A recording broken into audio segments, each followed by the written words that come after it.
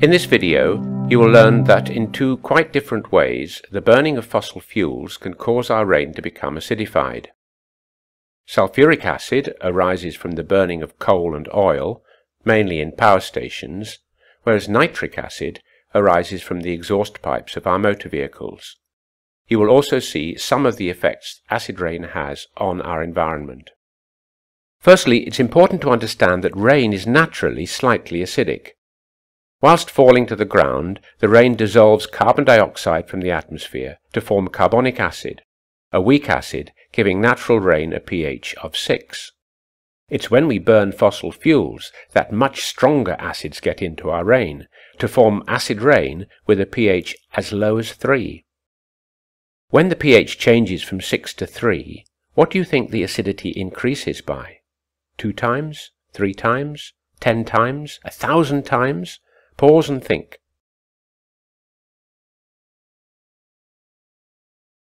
Remember that each change of 1 in pH is a tenfold change in acidity, so changing from 6 to 3 is 10 times 10 times 10, or a thousand times more acidic. We'll consider sulfuric acid first. Plants need a little sulfur to grow. They obtain it from sulfates, for example potassium sulfate, found naturally in the soil.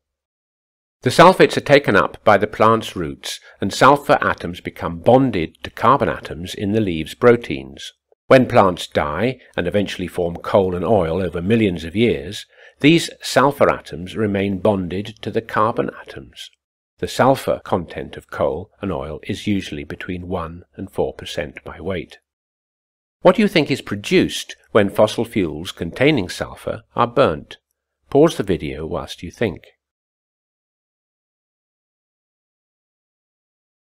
When the coal is burnt, the sulfur and the carbon atoms join with oxygen from the air and are released into the atmosphere as carbon dioxide and sulfur dioxide. In the presence of sunlight, a photochemical reaction will take place where sulfur dioxide reacts with more oxygen to form sulfur trioxide. This dissolves in the rainwater, forming sulfuric acid. Let's now consider how nitric acid gets into the rain. In the high temperature conditions in the cylinders of our motor vehicles, a small amount of nitrogen and oxygen from the air can react. Remember that air taken in to combust the fuel is nearly 80% nitrogen. So exhaust gases from vehicles contain small but significant amounts of nitrogen oxides. Once the oxides of nitrogen are in the air, they react with more oxygen, just like we saw with sulfur dioxide, and dissolve in the rainwater to form nitric acid. If the rain falls on limestone soils which are alkaline, the acidity may be neutralized.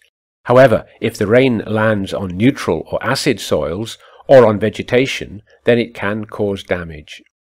So why is this acidity harmful to living things? Well, living things don't grow well in acid conditions, and it's easy to demonstrate this. Soak a slice of bread in vinegar and another in pure water, leave them open for a little while, and then leave them covered for a week. You will find that the bread soaked in vinegar has not gone mouldy, whereas the other bread has. In fact, we use vinegar to preserve food in a process called pickling. This is the case because certain enzymes which are vital for growth are unable to function in acid conditions. The other main problem is in the soil. Whilst naturally occurring toxic metals such as aluminium are insoluble and therefore fairly harmless in neutral soil, they become soluble in acidic soil. They then get taken up by living things and take the place of essential metals such as zinc and iron.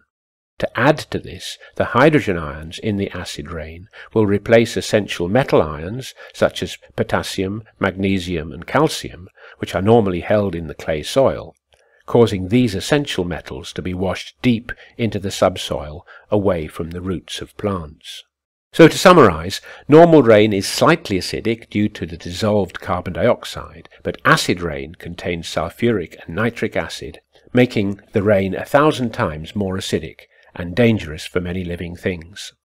Sulfuric acid arises from the burning of fossil fuels containing sulfur, Nitric acid arises from the combustion of atmospheric oxygen and nitrogen in the high temperature conditions in the cylinders of petrol and diesel engines.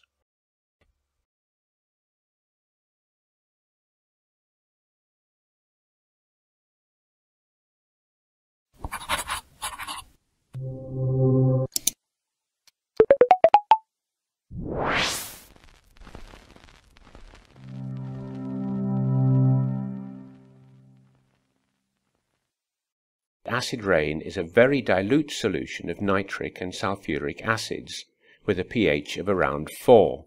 Now we will learn about ways in which we can either make this acid rain less acidic, or at the very least reduce its negative effects on our environment.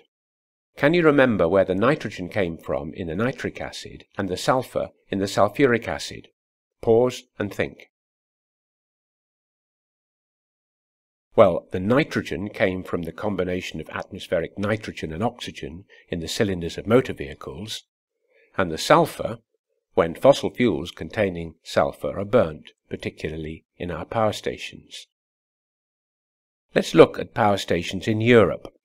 For many years, these stations have been using tall chimneys to disperse the sulfur dioxide far away, thinking that dilution was the solution to pollution. However, the acid did not get diluted, but instead was carried in the wind to Scandinavia, where it fell into Swedish lakes. Originally, people tried to neutralize the acidity by adding limestone to the lakes. This was partly successful. For example, salmon returned to some polluted rivers in Wales after the acidified lakes from which the rivers flowed were treated with lime over a number of years. A much better method is to trap the acid before it reaches the atmosphere in a process called scrubbing. The kind of scrubber we need in this case is an alkali to react with the sulfur dioxide.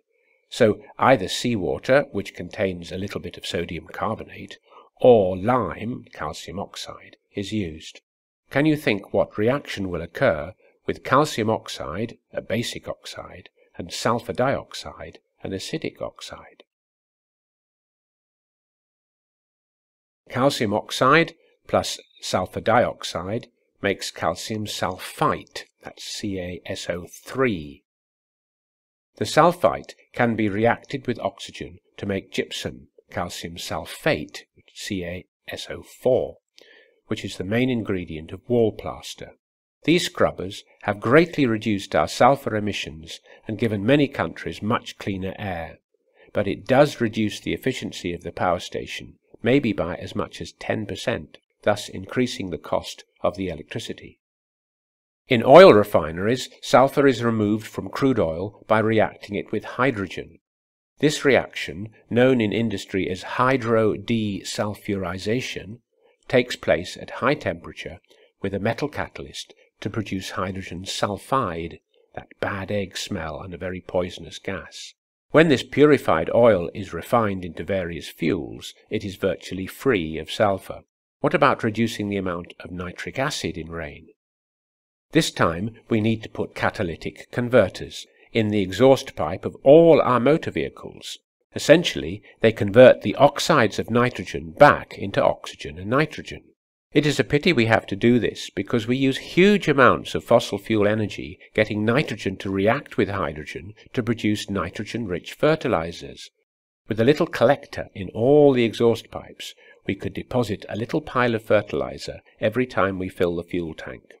There's an idea for one of you young entrepreneurs. So to summarize, the best way to reduce the effects of acid rain is to prevent the oxides of sulfur and nitrogen from escaping into the atmosphere in the first place. This is done by scrubbing the exhaust fumes from power stations using lime or seawater to remove the sulfur dioxide, and by fitting catalytic converters to motor vehicle exhausts to decompose the oxides of nitrogen.